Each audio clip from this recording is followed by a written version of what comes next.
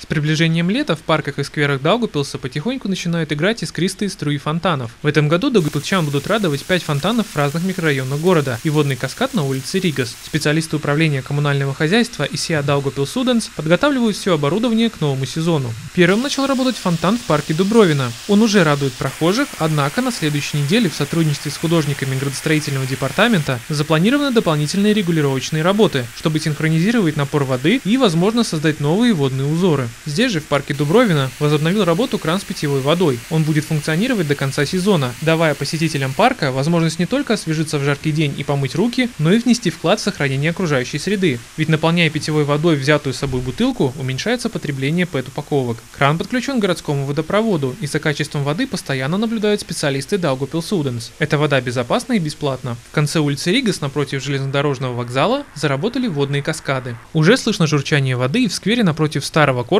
Даугупилского университета по улице Веннибас 13. В расположенном напротив него сквере Пумпура прихорашивается девочка с лилией, чтобы встретить новый сезон во всей красе. Этому фонтану была необходима небольшая реставрация. Сотрудники коммунальных служб, как только на улице потеплело, сняли слой старой краски и подготовили основание, но последовавшее за этим похолодание и дождливая погода не позволили закончить технологический процесс. Поэтому специалисты УКХ с нетерпением ждут следующую неделю, когда прогнозы обещают благоприятные погодные условия, чтобы закончить покраску и оживить фонтан. В этом году отдыхающих также будет радовать фонтан на центральном пляже озера Большие Стропы. Работы по установке уже завершены. Еще какое-то время понадобится на настройку, чтобы струи высотой в 30 метров смогли со всей мощью взвиться над водной гладью. Эта конструкция уникальна тем, что она не только красива, но и улучшает аэрацию озера. Течение ближайшего месяца возобновит работу и фонтан в пруду парка на Эспланаде. Ему была необходима замена двух насосов, поставка одного из которых немного задержалась из-за ковид-ограничений. Но как только все устройства будут получены, конструкция будет установлена и приведена в действие. Сюжет подготовил отдел общественных отношений и маркетинга Даукупилской городской думы.